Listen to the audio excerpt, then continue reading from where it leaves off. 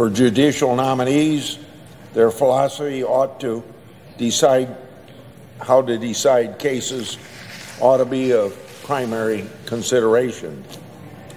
Part of having a judicial philosophy is having an understanding of the fundamental principles of our Constitution. Natural rights are a part of that system. Judge Jackson explained to us that she does not, quote, hold a position on whether individuals possess natural rights. Now, that ought to be very shocking.